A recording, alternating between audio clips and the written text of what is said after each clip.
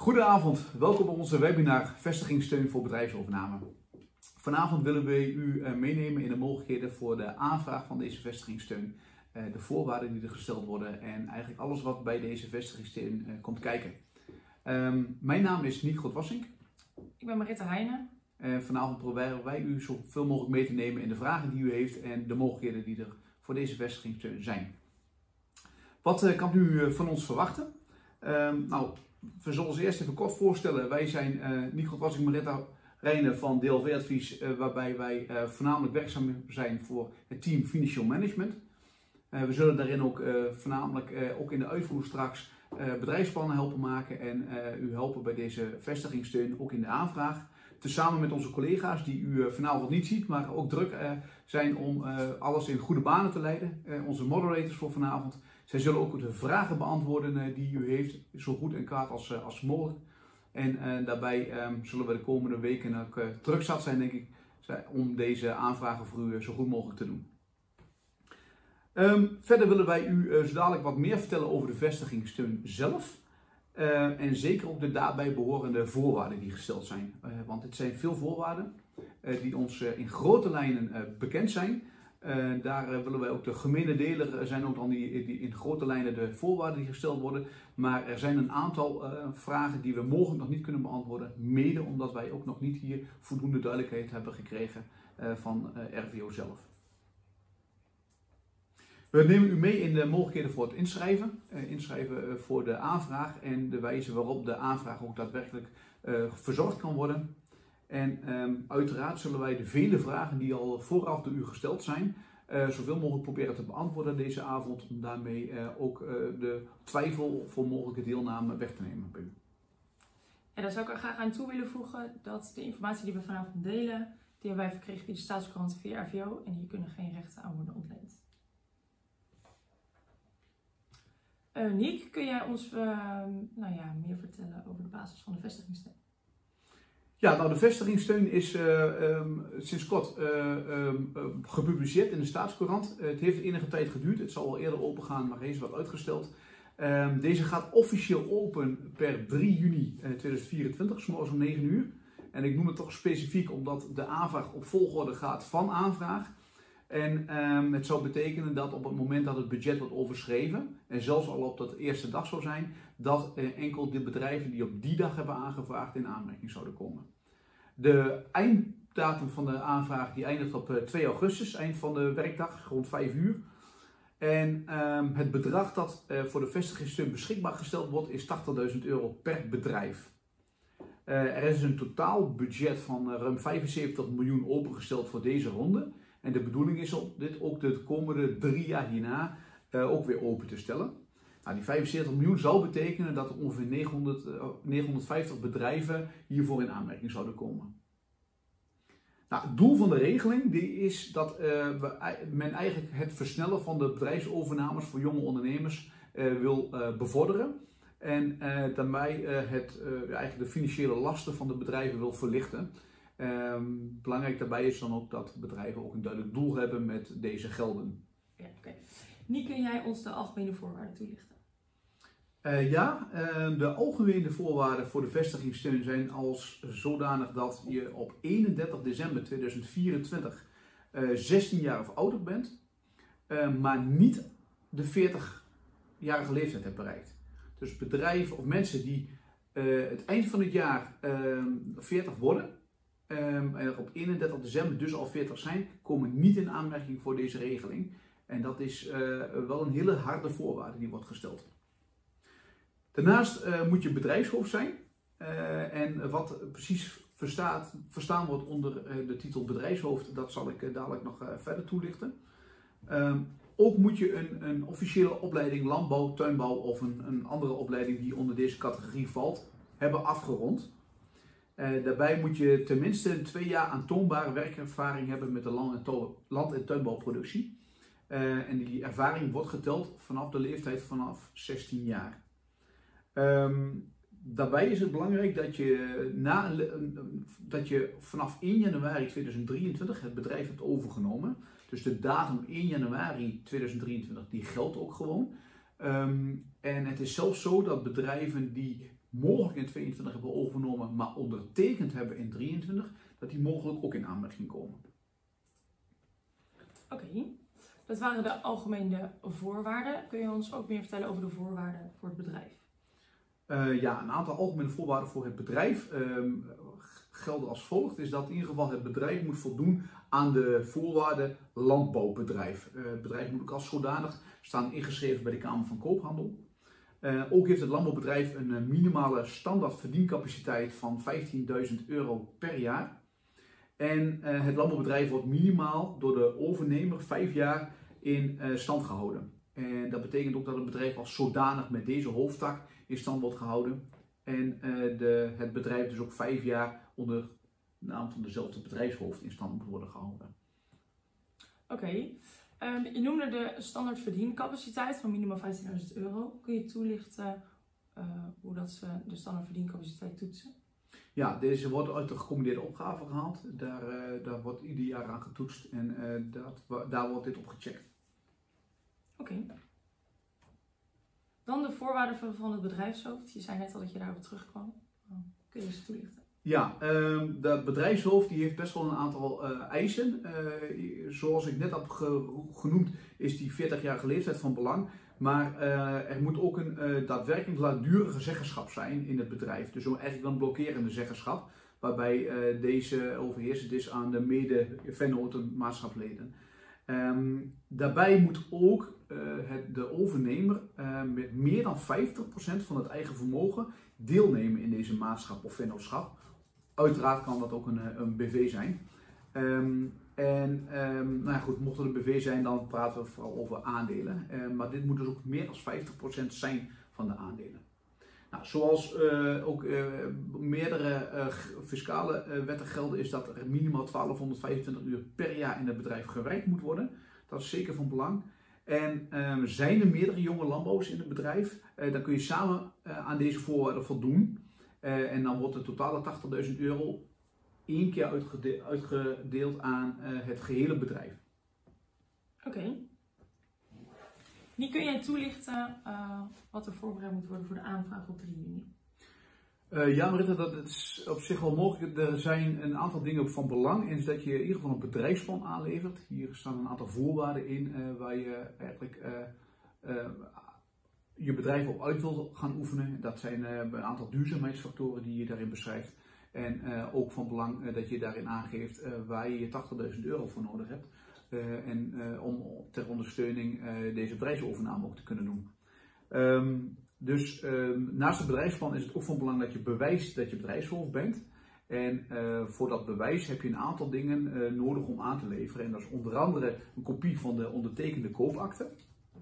of een ander overnamedocument die ook wel juridisch onderbouwd is.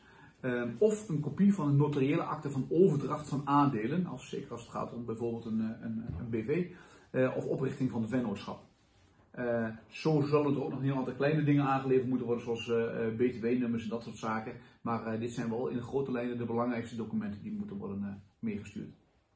Oké, dan zullen ze ook nog de gecombineerde opgave gaan controleren. En wat belangrijk is bij het indienen van een gecombineerde opgave voor 15 mei, is dat uh, het deel wat je hier invult, dus het geboortejaar en de uh, gemiddelde werktijd per week van de uh, bedrijfsovername, dat die hetzelfde is als degene waarvoor de aanvraag wordt gedaan van de vestigingssteun.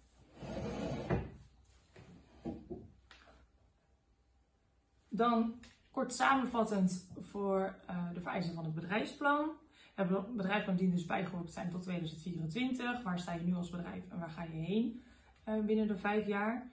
Um, nou, middels de situatieschets van nu.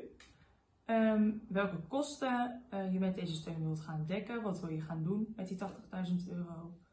Uh, een beschrijving van, van de manier waarop de steun helpt met het verstrekken van de veerkracht van het bedrijf. En de beschrijving van de onderdelen in het bedrijfsplan die bijdragen aan de duurzaamheidsdoelen. Die kun je toelichten hoe het na de aanvraag gaat. Ja, na de aanvraag heeft RVO uh, 13 weken de tijd om uh, tot een beslissing te komen. Uh, voorwaarde is wel dat de subsidie compleet is binnengekregen. Dus alle documenten moeten zijn meegestuurd. Mocht op dezelfde dag meer goedgekeurde aanvragen zijn binnengekregen dan het toegekende subsidiebedrag in totaliteit, dan wordt op volgorde van binnenkomst betaald. Oké, dat was de toelichting op de vestigingssteun. We willen nu graag door met de meest gestelde vragen die zijn binnengekomen. De eerste vraag die luidt als volgt. Wat betekent het als je als 25-jarige met je ouders in een maatschap zit en je hebt een derde zeggenschap? Ja, in de basis zou je zeggen dat dat niet volstaat, want uh, in dit landbouwbedrijf meerdere uh, jongere uh, landbouwers heeft als bedrijfshoofd, dan die nog steeds dat zij tenminste gezamenlijke en vereiste daadwerkelijk langdurige zeggenschap hebben, die eigenlijk doorslaggevend is. En dat is met een derde eigenlijk niet voldoende. Oké, okay, voor de toelichting. Dan de volgende vraag. De datum op het gedateerde en ondertekende overname, overnamedocument is leidend en wordt op dit punt door RVO beoordeeld. Deze datum is immers het moment vanaf wanneer jonge landbouwer formeel het aanspreekpunt is voor het gedeelte van het bedrijf dat is overgenomen of aangekocht. Gaat het hierbij om de ondertekende datum of de datum die genoemd staat als ingangsdatum van de overname?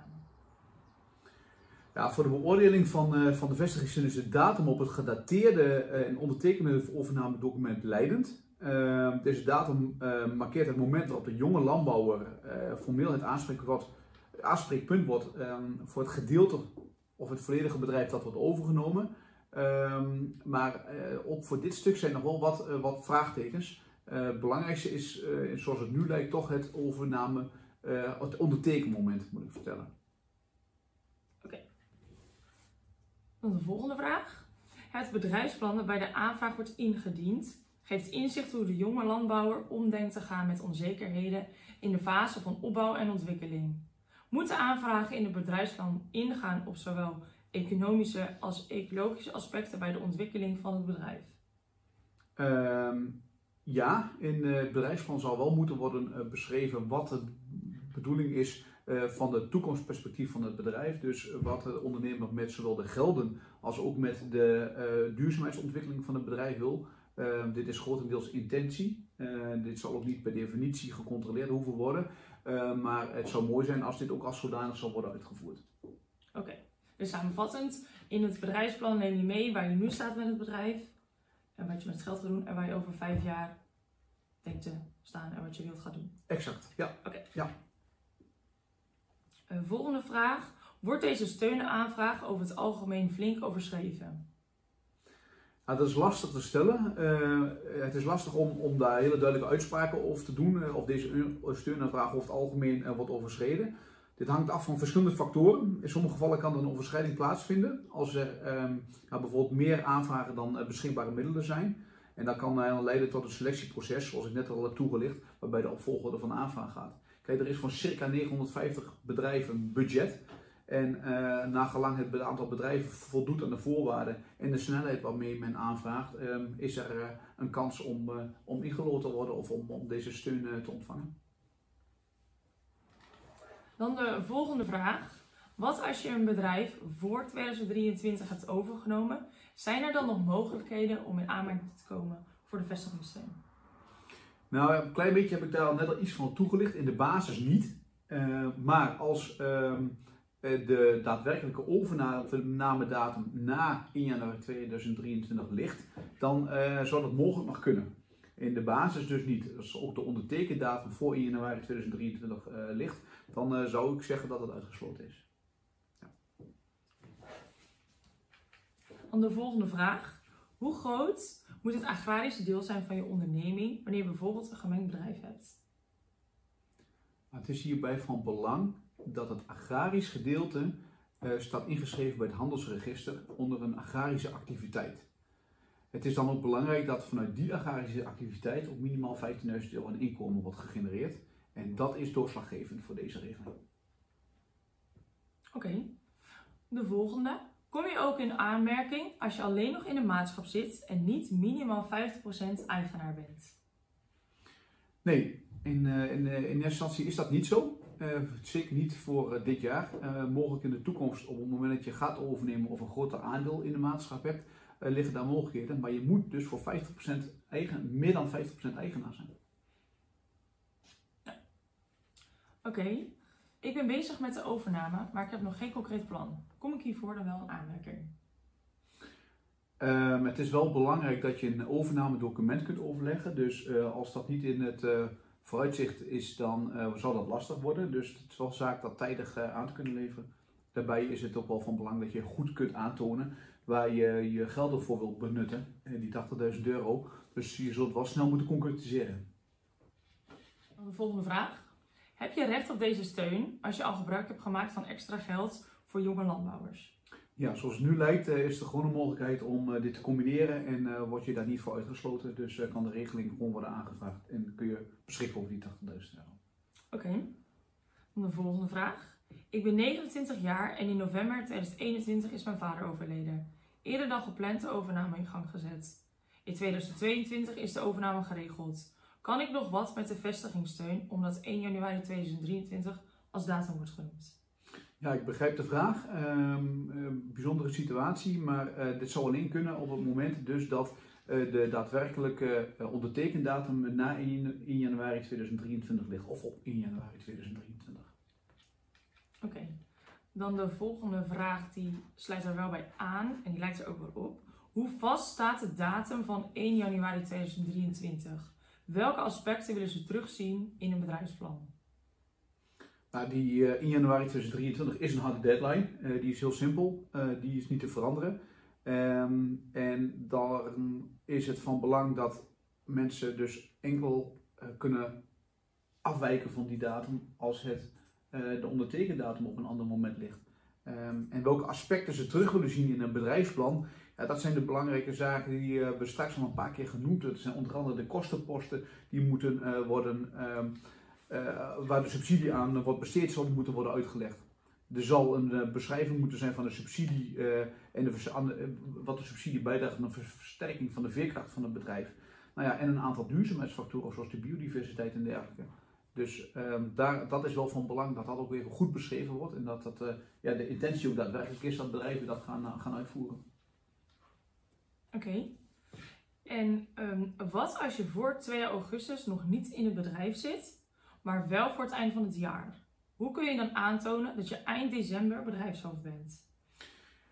Ja, als je voor het einde van het uh, jaar het bedrijfshoofd wilt worden, uh, maar dus nog niet in het bedrijf zit, uh, dan kan het een uitdaging zijn om dat aan te tonen. Want je moet eigenlijk aantonen dat de zeggenschap op het moment van aanvragen al aanwezig is. Dat die zeggenschap, die, die, die overheersende zeggenschap op 3 juni bij aanvraag al aan, aan de orde is. En uh, dat is uh, wel lastig. En je kunt daar documenten voor opstellen, maar die moeten echt juridisch getoetst worden. En ik acht het, uh, de, het erg lastig om dat te kunnen aantonen.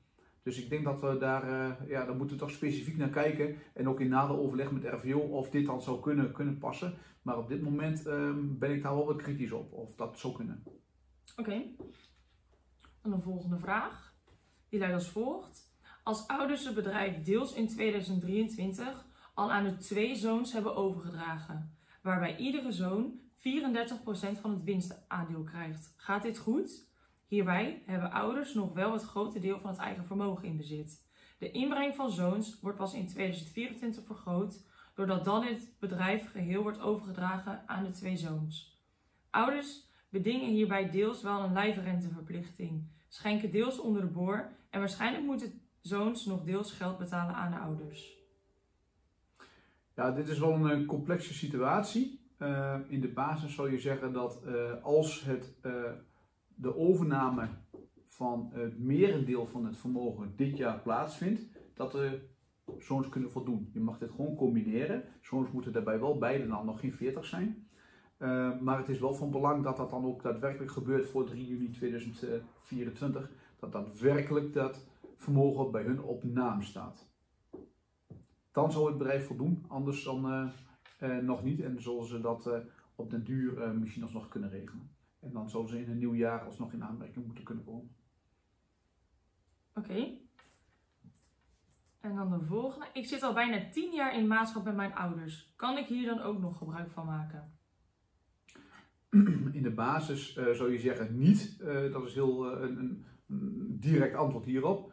Ehm, mits eh, er nu een, een daadwerkelijke overname gaat plaatsvinden van een groot gedeelte van het vermogen of van het bedrijf. Ehm, maar als daar nu nog niets is voor is voorbereid, dan acht ik dat wel zeer uitdagend om dat voor 3 juni nog te regelen. Maar gewoon een maatschap uh, toetreding die al jarenlang eigenlijk al, al plaats heeft gevonden en er is geen grote verandering nu, ook niet van het vermogen dat overgaat, dan zou ik zeggen dat dit bedrijf op dit moment niet in aanmerking komt.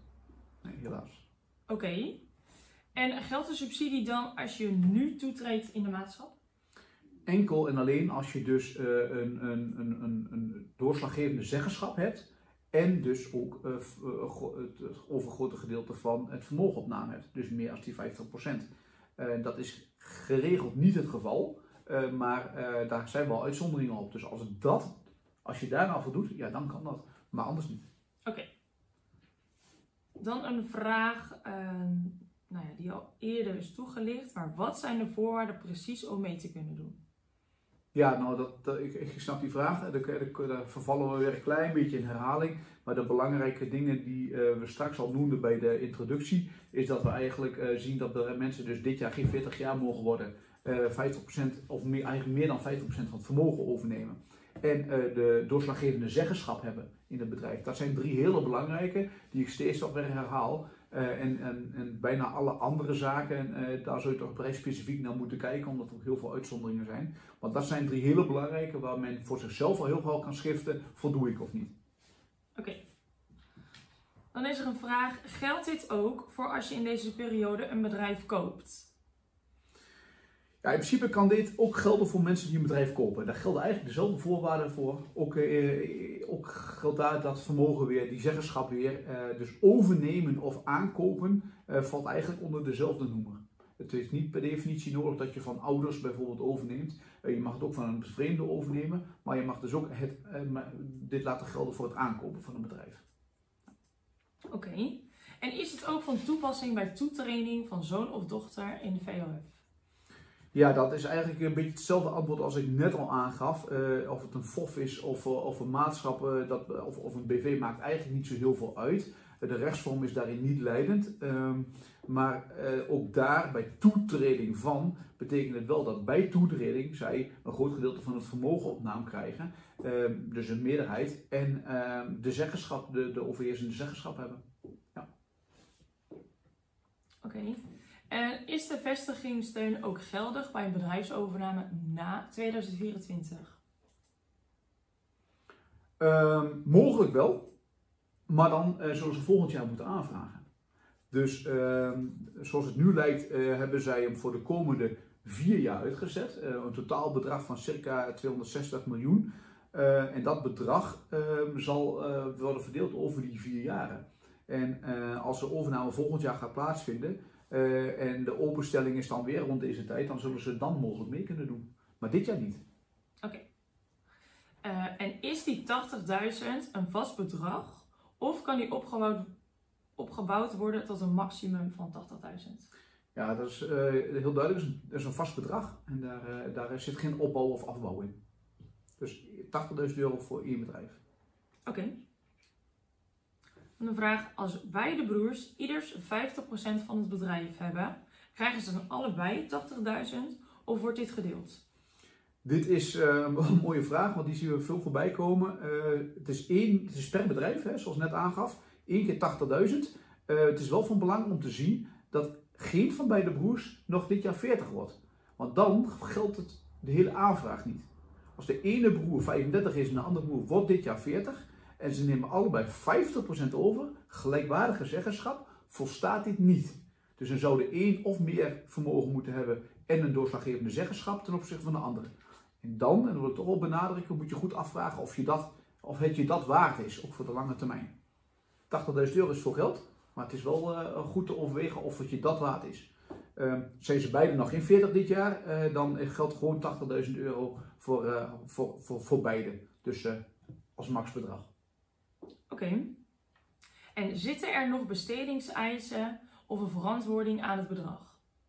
Ja, nou ja, eh, de, de, de bestedingseisen of verantwoording zit eigenlijk in het bedrijfsplan, waarbij je aangeeft waar je deze ondersteuning voor graag voor zou willen gebruiken. Dus dat kan zijn uh, door jouw bedrijf duurzamer te, te maken. Dat kan zijn door uh, een bepaalde noodzakelijke investering te doen. Om bijvoorbeeld zowel op dierwelzijn als op de verdere verduurzaming van het bedrijf uh, je bedrijf te willen bevorderen om voldoende license to produce in je bedrijf te houden. Dat kan een hele goede reden zijn. dat, nogmaals, dat wordt niet per definitie gecontroleerd, maar het is wel van belang dat je dat daarvoor wel gaat gebruiken als dat je intentie is. Oké. En wat is de uiterste notariële overnamedatum? Um, dat is een goede vraag. Uh, zoals het nu lijkt, is de, de uiterste notariële overnamedatum datum uh, begin juni. Hè, eigenlijk 3 juni. 3 juni is eigenlijk te laat haast. Maar uh, zul je toch rond eind eh, mei, begin juni moeten zitten om hiervoor in aanmerking te komen. want die notariële actes die moeten worden overlegd, die moet je laten zien um, bij aanvraag. En als je het daarna ligt, is de kans natuurlijk niet groot meer dat je nog in aanmerking komt voor dit jaar. Oké. Dan, wat zijn de gevolgen als bedrijf drie jaar na overname wordt gestaakt of andere weg wordt ingeslagen? Ja, dat zijn twee heel verschillende vragen, Marita. Um, um, als het bedrijf wordt gestaakt, dan zou je zeggen, uh, komt het bedrijf niet in aanmerking of zou misschien zelfs de steun moeten worden terugbetaald. Dat geldt hetzelfde als met de BOR, bedrijfsoverdrachtsregeling. Uh, je moet het bedrijf wel voor vijf jaar voortzetten. Ja, en een andere weg inslaan, slaan, dat is natuurlijk een beetje de vraag wat je doet. Als je je hoofdtak houdt zoals die was, waar je ook de aanval voor hebt gedaan, en je gaat er wat bij naast doen, dan hoeft dat geen enkel probleem te zijn. Maar zou je die hoofdtak helemaal beëindigen uh, als zijnde uh, zelfs agrarisch, en voor een totaal andere tak, uh, je gaat van, van, van het houden van melkkoeien naar bijvoorbeeld een kinderdagverblijf zonder koeien, ja, dan denk ik dat dat een probleem wordt en dat je ook dan de steun weer zou moeten terugstotten. Ja, maar als jij de koeien houdt en je hebt daarnaast start je een kinderdagverblijf, dan hoeft dat geen enkel probleem te zijn. Dan kan het wel. Ja, want de hoofdtak waar je voor hebt aangevraagd, ga je gewoon weer verder. Ja. ja. Uh, dan de volgende vraag. Is deze regeling ook van toepassing op niet-bloedverwanten? Ja, zeker. Daar kan ik heel kort over zijn. Uh, het hoeft niet bloedverwant te staan. Er staat geen enkele eis op, op, op, op bloedverwantschap. het gaat puur over het feit dat de overnemende partij nog niet 40 wordt dit jaar. Ja. Oké. Hoe kom je in aanmerking? Wij willen de boerderij van vader slash schoonvader overnemen dit jaar. Eén vennoot is ouder dan 40 jaar. Ja, dan wordt het alweer wat technischer. Hè? Dus uh, dan, dan, um, dan ga je al richting oplossingsrichtingen denken. Um, in de basis zou je zeggen, het volstaat niet, want hij wordt dit jaar, uh, of is al 40 jaar, dus dat kan niet. Als er meerdere vennoten zijn, dan moeten we zorgen dat de andere vennoten die overnemen, gezamenlijk meer dan 50% hebben en de doorslaggevende zeggenschap.